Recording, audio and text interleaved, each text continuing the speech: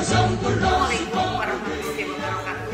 Saya Dina Evelyn Marlina, Sekretaris DPRD Kabupaten Sukabumi mengucapkan selamat hari jadi ke-153 Kabupaten Sukabumi tahun 2023. Berkarya bersama memantapkan pelayanan publik menuju peningkatan daya saing ekonomi daerah.